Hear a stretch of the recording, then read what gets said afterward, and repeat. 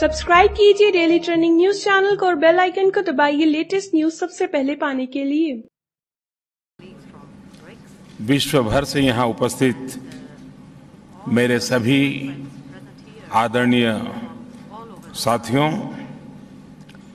सबसे पहले तो मैं प्रेसिडेंट रामाफोसा को ब्रिक्स में आउटरीच प्रक्रिया को सशक्त बनाने के लिए बहुत बहुत बधाई देता हूँ. ब्रिक्स और अन्य उभरती अर्थव्यवस्थाओं के बीच यह संवाद विकास के महत्वपूर्ण विषयों पर विचारों के आदान प्रदान का एक अच्छा अवसर है।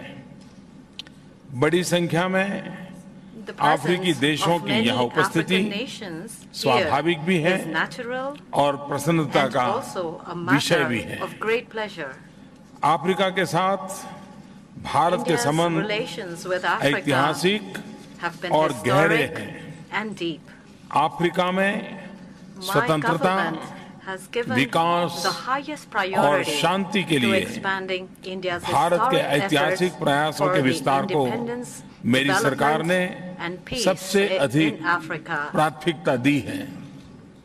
पिछले चार सालों में heads of state and government स्तर के सौ से भी अधिक आपसी यात्राओं और मुलाकातों के ज़रिए हमारे आर्थिक संबंध और विकास सहयोग नई ऊंचाइयों पर पहुँचे हैं।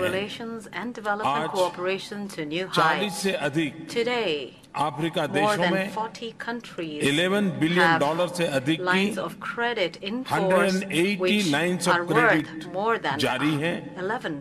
हर वर्ष Every year, 8000 अफ्रीकी छात्रों को 8,000 African भारत में students scholarship get scholarships in India. 48 अफ्रीकी देशों में And टेलीमेडिसिन के लिए we have e network an e-network और in private 48 sector African द्वारा countries for telemedicine 54 billion and dollars के by निवेश से investment of अफ्रीका 54 में billion dollars from the Africa private को sector.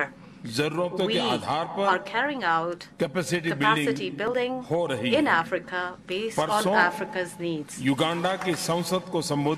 Just the day before yesterday, in my address to the Parliament of Uganda, I stated 10 principles of India-Africa partnership. These 10 principles are the guidelines for collaboration, for development, as per the needs of Africa, for cooperation, peace and security, and for सैकड़ों साल strengthening पुराने the hundreds of रिश्तों years को और old मजबूत relations करने के लिए between our दिशा people. निर्देश हैं African continental free I trade heartily area की की महत्वपूर्ण पहल के all लिए African nations मैं for the सभी important initiative अफ्रीकी देशों of को हार्दिक the बधाई African देता हूं। Continent Free Trade Area.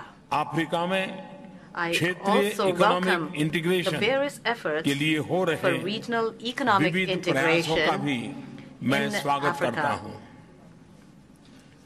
Excellency excellencies free trade and commerce के पिछले तीन दशकों में trade and commerce has in the last three decades helped hundreds of millions of people बाहर निकलने का अवसर मिला है।